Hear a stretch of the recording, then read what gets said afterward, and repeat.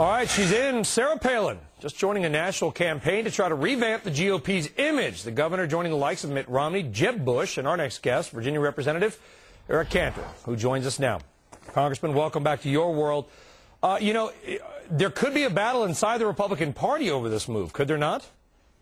No, listen, Brian. What what uh, we are launching here is the National Council for New America. We are more we are thrilled to have uh, Governor Palin on board. This effort is going to be uh, the launch of a conversation with the American people. And what this is about is about replicating really the efforts that what our party has been successful at over the decades, just as Ronald Reagan would have done. We're going we're going to go out and talk about the common sense conservative principles uh, and the and the values that have made this country so successful.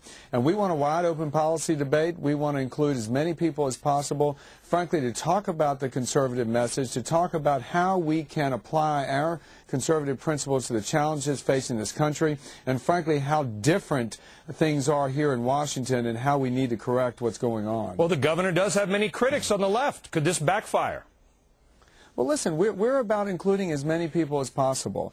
Uh, you know, Governor Palin is, uh, you know, the governor of Alaska facing challenges in that state just like other states are facing their own challenges. Uh, we welcome the governor on board, and we're going to go out and, again, include as many people as possible in a wide open policy debate uh, to talk about how the conservative uh, methodology, how the conservative philosophy, those common sense conservative principles of freedom, of free markets, of opportunity, individual responsibility, how we can make a difference uh, in people's lives if we were to be able to apply those principles uh, to what's going on in Congress and, frankly, speak to what has made the communities of America so strong. Was it difficult to get the governor in? There are reports that she is concerned that this may hurt her relationship with the citizens of her home state in Alaska.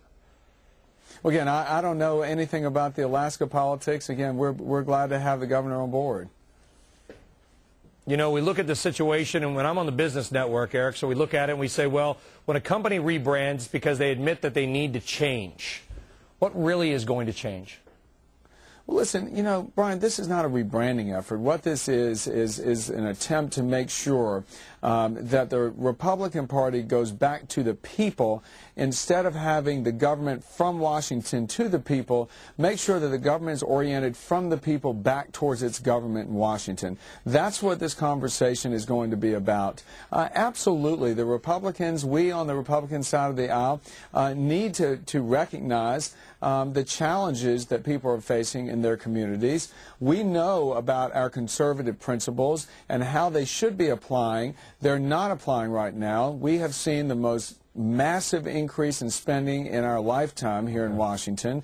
Uh, we are looking at a very uncertain future and one okay. that, frankly, could be made a lot more certain if we were to uh, adhere right. to the common sense conservative principles. Congressman Eric Cantor of Virginia, got to leave it there, but thank you for joining us. Appreciate it. Thanks, Brian.